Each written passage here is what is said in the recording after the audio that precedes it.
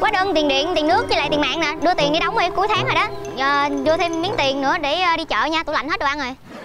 Thôi tí nữa đưa cho. Nhớ đưa đó, không thôi là tự lết cái thay đi mua nha. Ê, thôi giữ đi. Tí gì chuyển khoản. Trí sao Trí không dạ? Dạ. Ủa mà dạ làm chi?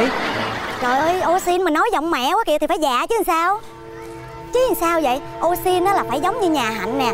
Coi nè coi ô xin nhà Hạnh nè. Chị Bảy ơi! Dạ, kêu em gì chị? Tôi kêu vậy thôi à không có gì hết. Mai ơi Mai Chị xin lỗi em. Trong thời gian qua chị có mắt mà như mù vậy đó.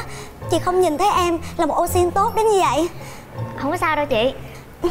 Mai ơi em biết hoàn cảnh của chị rồi đó. Chị là mẹ đơn thân Mà chị phải đi làm nữa. Bây giờ gặp cảnh ô xin như vậy nữa Em có hiểu hoàn cảnh của chị không? Dạ, dạ hiểu chứ chị. Vậy em ở lại làm cho chị nghe. Ơi sao tự nhiên hạnh dành nuôi sinh của trí vậy? Mai là của trí